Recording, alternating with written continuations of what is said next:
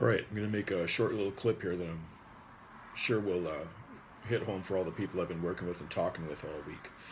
And uh, I just want to make this clear and short and precise. And it's uh, I want you to stop saying things that violate your conscience.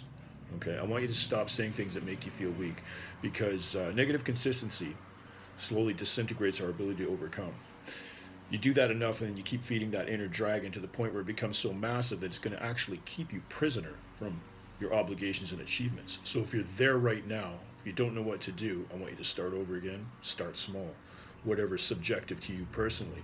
Cleaning your room, washing the dishes, making that phone call you need to make. Whatever.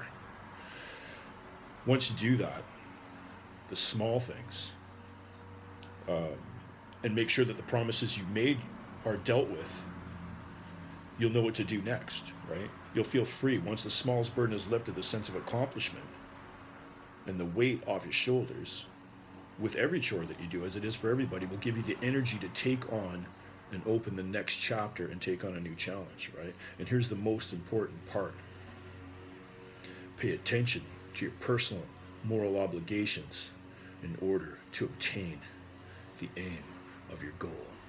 All the tools are lying there right before you. Use them. Take them. dig? Good. And I'll catch you. Hmm. In the pit.